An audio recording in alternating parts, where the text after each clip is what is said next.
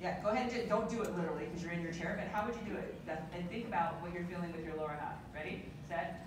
You're gonna spin to the, you're gonna, if you're right-handed, you're gonna spin that way. If you're left-handed, you're gonna spin the other way. What would you do? Okay? What are you feeling? Is anyone feeling that? You're using the ground, hopefully, because we're not gonna just pick up our legs and try to swing as fast. Now if I said, who can spin it twice around? Who can spin around theirs twice and literally see who can spin it the most? Does that change anything of what you're feeling with your lower half? So here's the bottom line. If I'm, as a hitter, it's the same concept, okay? Because if I'm sitting in a chair, I can literally go like this and push it, and I'm gonna go I may go all the way to the back side.